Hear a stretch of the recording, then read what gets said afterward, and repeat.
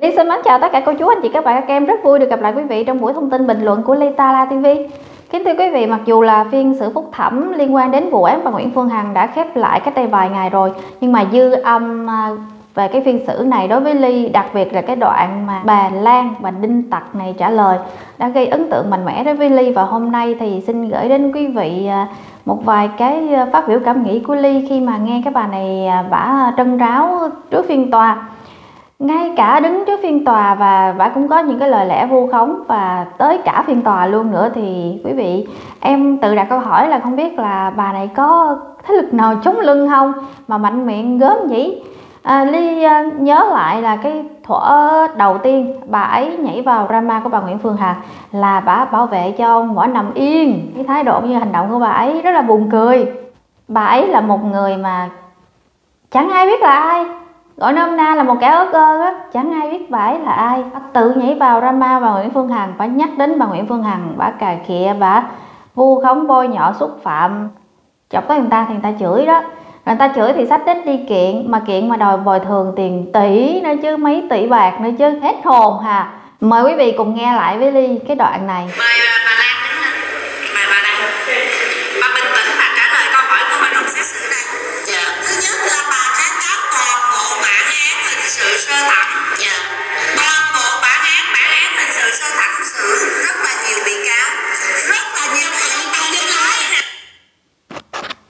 đứng trước phiên tòa, chưa có nghe hỏi xong gì hết, là tôm tớp tôm tớp nó nhảy vào miệng của người hỏi rồi. Thì phía phiên tòa hỏi, chưa có đọc xong câu hỏi nữa, bà muốn nhảy vào rồi. Mà quý vị ơi, ly buồn cười nhất là phía phiên tòa phải dặn bà bình tĩnh để nghe câu hỏi.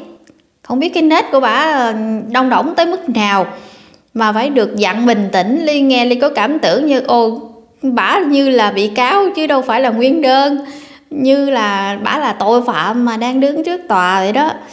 Phải cần bình tĩnh.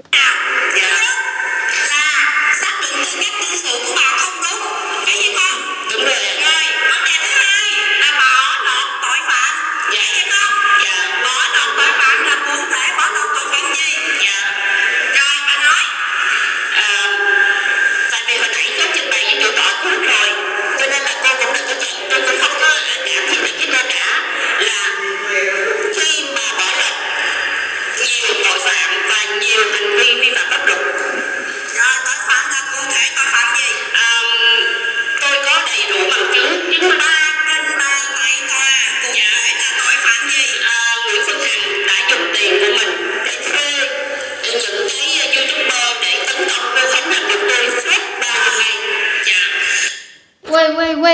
anh nói là bà Nguyễn Phương Hằng đã dùng tiền thuê những youtuber để ờ, chửi bà bả suốt 3 năm nay. Nhưng mà ban đầu bả không nhảy vào drama của bà Nguyễn Phương Hằng ai biết bả là ai? Trời ơi ngộ hết sức không? Một người vô danh tiểu tốt cả xã hội không biết ai là ai trước đấy trơn á. Mà tự nhiên nhảy vào drama của bà Nguyễn Phương Hằng Để khuấy động, để tạo nên cái sự chú ý. Nhảy vô binh vực cho Lan Băm tấn công bà Nguyễn Phương Hằng. Rồi cái tự nhiên cái tấn công bà Nguyễn Phương Hằng cái không cho người khác nói lại mình. Ủa cái lý gì vậy? Muốn người khác không có tấn công mình đó thì mình cứ yên lặng mà bán rượu được đi. Mình xách cái đích mình đi vô chốn thị phi. Đã vậy á, còn binh vực cho ừ, thể loại thần y dởm nữa. Lăng mạ bà Nguyễn Phương Hằng cũng đủ điều hết trơn. Rồi xã hội người ta bức xúc rồi người ta nói lại. Rồi cái thành ra bà đóng vai bà là nạn nhân hết. Ủa gì ngộ vậy ta? Không có lửa sao có khói? Bà không nhảy vào drama, bà không nói tầm bậy tầm bạ. Thì ai nói được bà? Bà không nói bậy thì ai mà chửi rủa gì được bà? Phải không?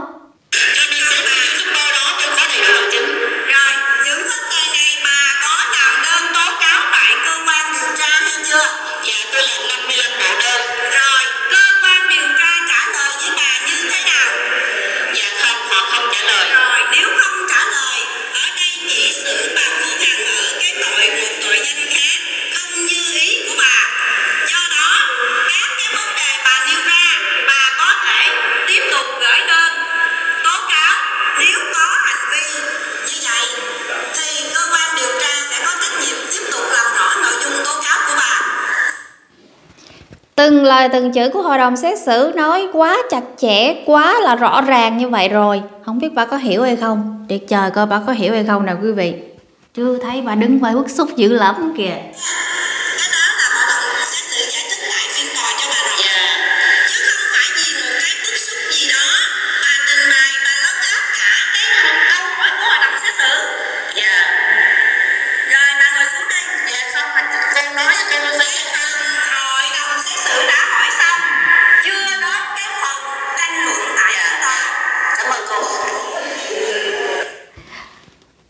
Hội đồng xét xử kêu ngồi xuống mà con không chịu ngồi thấy không? Con muốn mắc nói mắc cãi. Trời lan sao đi bán rượu được chứ vậy? Sao bà hồi đó không học nghề luật sư đi? Học nghề luật sư đặng ra tòa đứng cãi. Thưa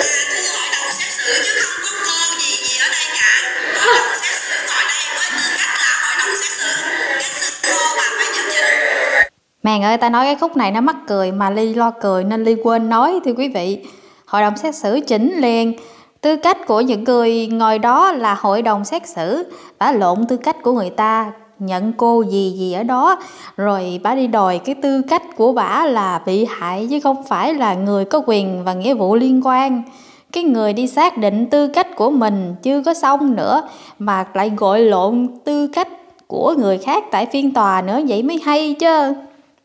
Chưa bàn đến việc Lan có tư cách hay không chỉ tới cái việc làm ổng làm eo đòi xác định lại tư cách tham gia phiên tòa của mình mà lại không biết hay là không xác định được tư cách tham gia phiên tòa của ban chủ tọa ban hội đồng xét xử đó. Thì ôi Lan ơi Lan ơi cái nết này của Lan chỉ cần có nước nhờ điệp cắt dây chuông điệp luồn dây chuối chứ khán giả cười tục quần hết. Bởi vậy xưng hô bởi vậy ta nói nhỏ không học lớn lên nhảy vô drama thị phi cà khịa xong rồi đi kiện lấy tiền tiền đâu phải lá bích, lá me đâu mà muốn kiện cái định giá vài tỷ như vậy, nghe phát ớn à.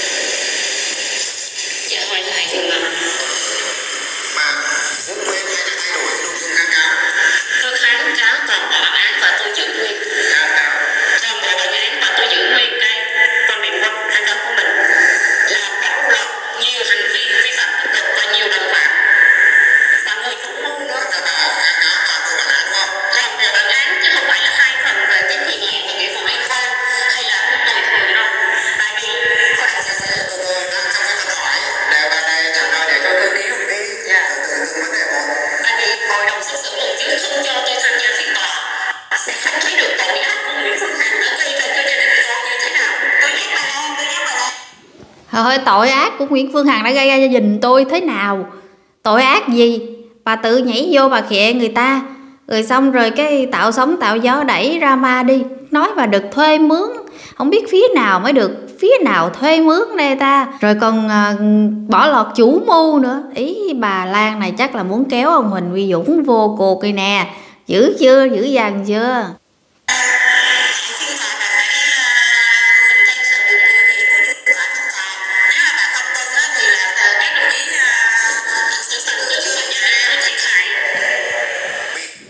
Bà đến phiên tòa bà không tôn trọng ai chủ tọa không tôn trọng phía hội đồng xét xử gì cả. Tôm tớp tôm tớp nhảy đông đỏng đông đỏng lên. Bà đi về nhà đó bà lập phiên xử tại nhà của bà đó rồi bà đứng đó bà làm ờ, thay thế mọi vai trò đó rồi đứng nói cho đã luôn đi la lan. Bị cáo nghe và trả lời những câu hỏi của phiên xử dạ. Xin xin lỗi xin lỗi bà bà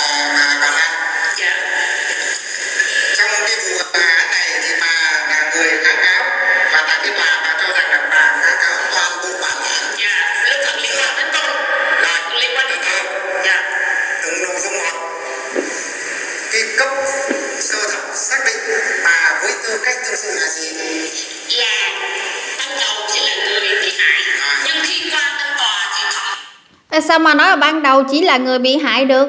Bà phải nói rõ ràng ra tòa là phải khai cho đúng. Bà khai là ban đầu tôi là cái người nhảy vô tự động Cái tôi ngứa hán quá Thành tôi ngứa mỏ gì đó. À, Tôi ngứa nách hay tôi ngứa đâu đó Thì mà tôi không biết đường đâu mà tôi gãi Cho nên là tôi nhảy vô drama Tôi nhờ bà Nguyễn Phương Hằng gãi giùm. Đó nhưng mà rất tiếc là bà không gãi giùm mà bà còn hả chửi vô trong mặt nữa cái tôi nóng quá cái tôi mới hả chửi lại bả rồi cái tôi chửi cả nhà bả rồi tôi khịa công ty của bả từ trên xuống dưới. Nó phải kể đừng phải kể cái trình tự chứ tự nhiên ban đầu nhảy vô cái tôi là nạn nhân. Ai biết bà là ai bà như thế nào bà ở đâu? Ai biết bà là ai bà đâu chui ra. Tự nhiên cái tự cho mình là nạn nhân ngay từ đầu. Gì mà buồn cười dữ vậy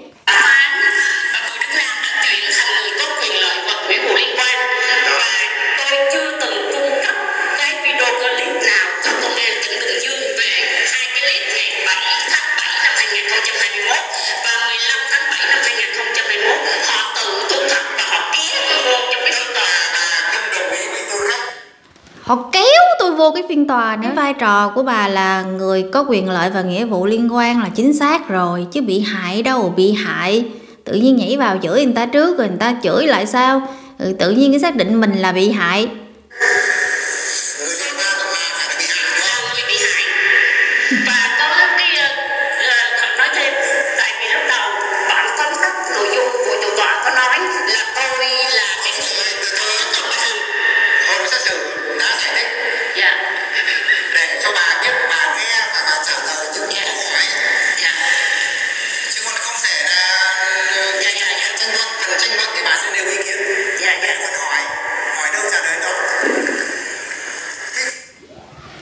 Có nội dung đơn giản là hội đồng xét xử. Yêu cầu bà bình tĩnh, nghe câu hỏi và trả lời.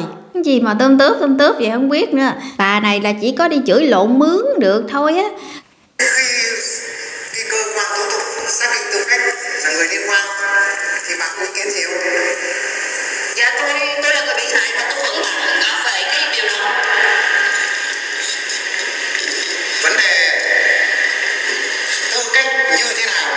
Xét xử xem xét. Dạ. Nếu như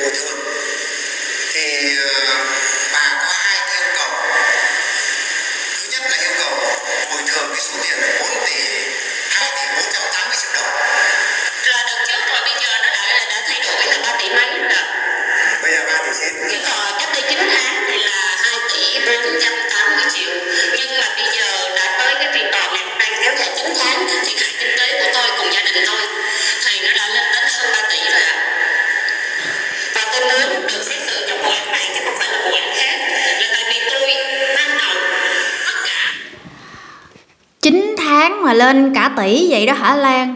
Lan làm anh kinh doanh buôn bán gì mà dữ dằn vậy? Thiệt hại mà chỉ trong vòng 9 tháng thôi mà từ 2 tỷ mấy mà lên tới 3 tỷ mấy. Trên lệch cả tỷ đồng trong vòng 9 tháng nó thiệt hại dữ dằn vậy ta. Trước đây cộng đồng mạng cứ nói là bà Lan này là bà Lan nổ. Đi nghe thì nghe vậy thôi. Nhưng mà cũng chưa có hình dung được là bà nổ tới cỡ nào thì hôm nay nghe xong thì thấy là nổ banh xác luôn thưa quý vị rồi cỡ như anh đờm chị Thủy Lũ hồi trước đây người ta thống kê thiệt hại của người ta ba bốn chục tỷ đồng. Nhưng cuối cùng người ta rút lại còn số không. Ta không có đòi bồi thường luôn á. Cỡ bà Lan này là cái gì? Mà nâng tính thiệt hại mà nó lên hàng tỷ đồng như vậy thật. Vật giá gia tăng vật giá tăng cao. À, lạm phát chạy còn không kịp Lan nữa đó không kịp cái nết của Lan luôn á. Đòi hỏi tiền đâu phải lá vít, lá me đâu, tự nhiên nhảy vào cà khịa, chửi rủa, nhục mạ, vu khống người ta, rồi người ta chửi lại. Rồi cái thành, mình biến mình thành nạn nhân và đi kiện lấy tiền tỷ như vậy.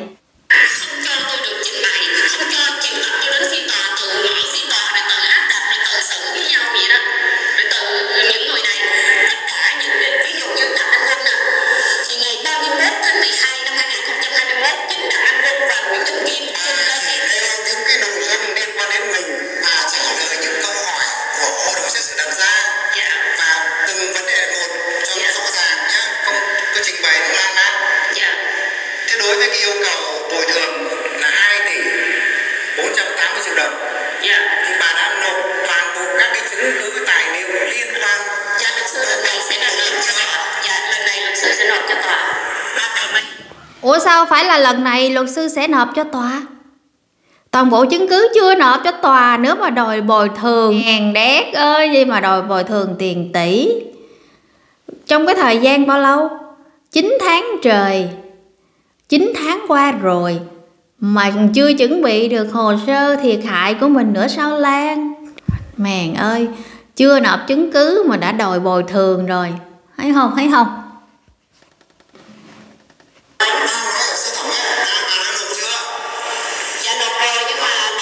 xem xét mà vì uh, tôi nộp gần cái ngày xét xử quá và uh, tôi mới bổ sung ban đầu thì tôi không có tờ bồi thường tại vì tôi nói là trong tội danh 331 có thì không quá 18 triệu đồng cho nên tôi không có yêu cầu bồi thường trong phiên tòa này tôi muốn có một cái phiên tòa phạm mà hành phạm tội tôi khống tôi cho nên là trong phiên tòa Tôi muốn có phiên tòa mà xử bà Phương Hằng tội vu khống tôi. Tôi muốn có phiên tòa nữa quý vị. Trời đất ơi, bà là ai?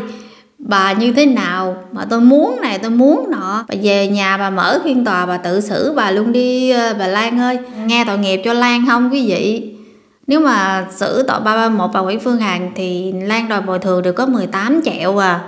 Cho nên Lan không chịu, ít quá Lan không chịu. Cho nên Lan phải quyết tôi muốn có phiên tòa xử bà Nguyễn Phương Hằng tội vu không? Để mà đòi bồi thường lên tới hả hàng mấy tỷ đồng. Mấy mấy tỷ dễ quá mà mốt thiên hạ này cứ chọc cho người ta chửi. Xong rồi cái sách đít đi kiện đang lấy mấy tỷ xài chơi.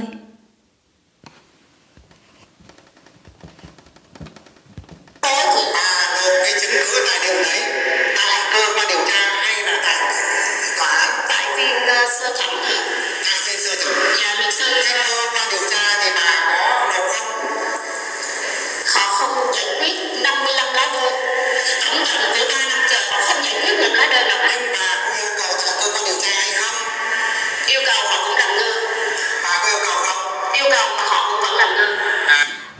25 cái lá đơn. Bà nói người ta chửi bà nhưng cái nết của bà cũng đâu có vừa bà cũng chửi, bà cũng vu khống, nhục mạ quá trời quá đất đó. Rải đơn. Ờ tao nói rải đơn còn hơn rải mạ, rải lúa nữa chị Lan ơi. Mấy chi mà mình trong sạch hay gì, mình vô tội hay gì. Cái này mình nhảy vô ma, người ta mình khịa trước, mình ăn nói bậy bạ cả trong đồng mạng này, người ta nghe người ta bức xúc. Đâu chỉ là youtuber không đâu. Thử hỏi xã hội này, bao nhiêu người người ta nghe người ta bức xúc những lời của bà Lan này nói? Tao không đếm xỉa là đúng rồi. À tào lao quá.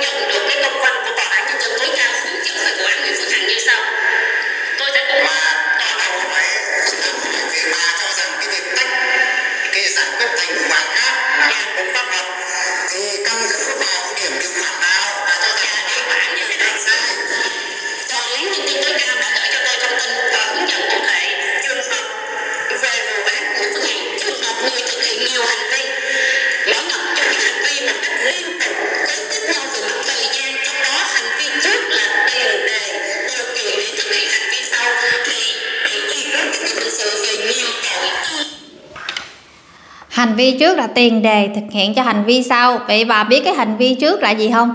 Hành vi trước là thuộc về bà đó bà Lan.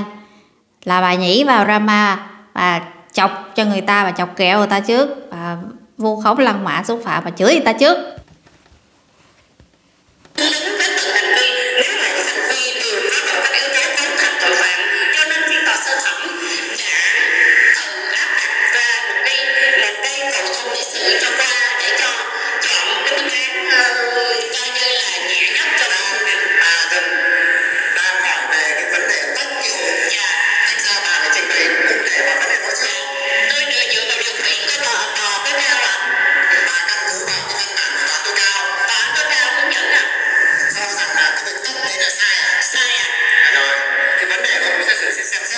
Xét ơi, Lan đi hỏi thông tin từ tòa án nhân dân tối cao luôn mới chịu, quý vị ơi. Quá ghê gớm luôn rồi. À, đi à, lấy lại danh dự của mình, mà danh dự của mình là tự nhiên cái mình đi vứt, mình nhảy vào drama, xong rồi cái mình bắt người ta phải bồi thường cho mình. Trong cái hành trình mình đi lụm lại cái danh dự của mình nghe mắc cười quá. Nhưng mà nghe Lan trình bày, em nói thiệt với quý vị nha, trời, em đỡ tốn tiền mua rau muốn quá. Em đỡ tốn tiền rau, em vẫn đi toilet phà phà, đi toilet ào ào luôn á. Phải cảm ơn Lan thiệt là nhiều luôn đó. Bà thấy, cảm thấy quyền lợi của cá nhân bà bị xâm phạm thì bà cứ đi đòi thôi. Nhưng mà có ai lấy là của bà cái gì đâu quý vị. Tự nhiên bà đánh mất rồi cái bà đi đổ thừa người khác hả cũng ngộ quá hen thấy cái nết của bà đứng trước phiên tòa này là đủ hiểu rồi, quý vị ha. Cái drama này chúng ta thấy một điều là với những kẻ xấu, kẻ ác mà nếu như chúng ta không giàu, không có đủ tầm thì khó mà đụng vô được họ, phải quý vị? Ở phía phe đối lập của bà Nguyễn Phương Hằng, không chỉ có Đinh Lan mà cũng còn nhiều người khác nữa. Nhưng cuối cùng thì vai phản diện còn lại là thuộc về Đinh Lan rồi. Tiền chứ đâu phải lá mít, lá me đâu mà đi kiếm bằng cách nhảy vô chọt người ta, rồi cái người ta quật lại, xong rồi cái mình đi kiện người ta kiếm tiền đâu làm nhảy thiên hạ người ta giàu hết rồi thì cũng hy vọng là linh lan cũng sẽ phải trả lời những cái câu hỏi ờ, về cái vấn đề mà vu khống, lăng mạ, sỉ nhục xúc phạm và nguyễn phương hằng cũng như là nhà đại nam nha mới nghe cái vài câu rồi thấy lùng bùng rồi, không biết quý vị thì thấy làm sao Cảm ơn quý cô chú, anh chị em mình đã lắng nghe và theo dõi với Ly đến giờ phút này. Mến chúc cho quý vị luôn luôn vui khỏe và sự bình an. Ly xin mến chào và hẹn gặp lại.